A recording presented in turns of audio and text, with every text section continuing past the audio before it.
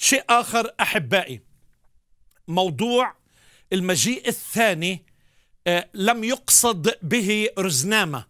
يعني أقصد رزنامة مبرمجة بمواعيد وتسلسل أزمنة آه، معينة وكأننا عم نحاول نحل بازل وهذا ما أراه مؤخرا للأسف.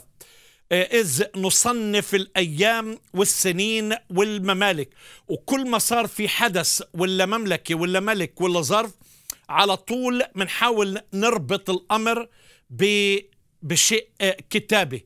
ليس هذا المقصود أنك تعمل منه آه، رزنامة ولكن عندما تحدث الأحداث راح تشوفها وتكون مؤكدة للحديث النبوي في كلمة الله بالكتاب المقدس. شيء آخر وهي حقيقة. لا أحد يعرف موعد مجيء الرب. مرة تانية هذه حقيقة. ولا إنسان اللي بقول لك الرب جاي في هذا الموعد في هذا التوقيت هذا يكون مضل مزيف وكذاب. لا أحد يعلم موعد مجيء الرب. حتى ربنا يسوع المسيح وهو على الأرض كإنسان لم يعلم مجيئه آه، عن مجيئه آه، ثانية.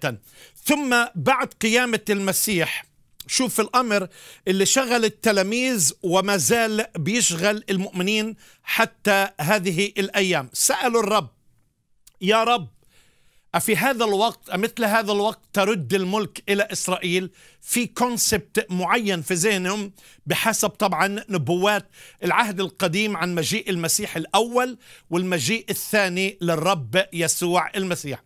لكن جواب يسوع المسيح كان في غاية الحكمة ولربما صادم نوعا ما. قال لهم ليس لكم أن تعرفوا الأزمنة والأوقات التي جعلها الآب في سلطانه لكنكم ستنالون قوة متى حل الروح القدس عليكم وتكونون لي شهود. فإذا يعني بيتكلم بصيغة أخرى للتلاميذ يقول لهم أنه يعني مش هذا البزنس تبعك اليوم أنت في عندك شغل تاني.